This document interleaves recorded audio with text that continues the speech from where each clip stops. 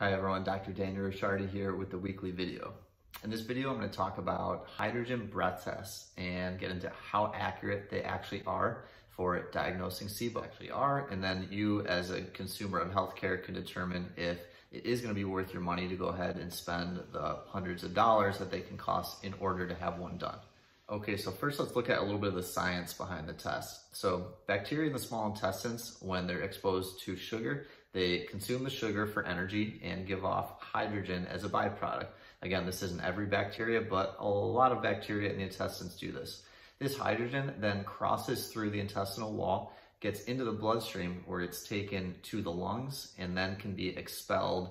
The hydrogen gas can be expelled from the lungs into the air. So in order to do one, you would ingest a quantity of sugar, either lactulose or glucose. After that's ingested, the clock starts, so to speak and every 15 minutes up to two to four hours or so, depending on which test you're doing, you would blow into a tube called a gas chromatograph.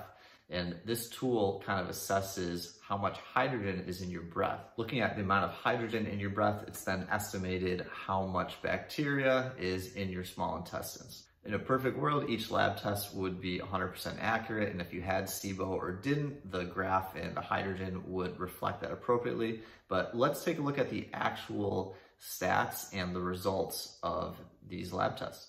The most recent meta-analysis I could find was published in 2020 by the Journal of Neuroenterology and Motility. What it looked at was how good these hydrogen breath tests, both the lactulose hydrogen breath test and glucose hydrogen breath test, were at identifying SIBO when you compared it against what's known as the gold standard of SIBO diagnosis, which is called a jejunal aspirate test.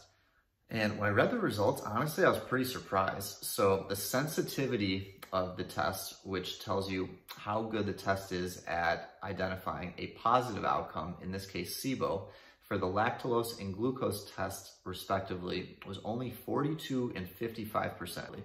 This means that there's a lot of patients that will have SIBO, and even though they take one of these tests, they will be told that they do not have SIBO. The other piece of data looked at was the specificity of these tests. And the specificity tells you how good the tests are at identifying a negative outcome, in this case, somebody that does not have SIBO.